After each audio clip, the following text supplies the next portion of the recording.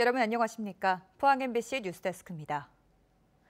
경북 동해안은 내일 새벽까지 가끔 비가 내리겠습니다.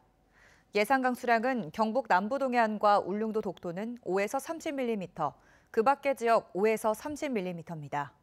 내일 아침 최저 기온은 14도에서 17도, 낮 최고 기온은 22도에서 25도가 되겠습니다.